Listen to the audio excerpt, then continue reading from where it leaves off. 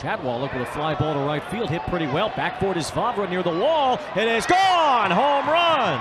Opposite field blast Chad Wallach. A welcome addition off the injured list. Wallach has his third home run. And this game is tied right back up. It's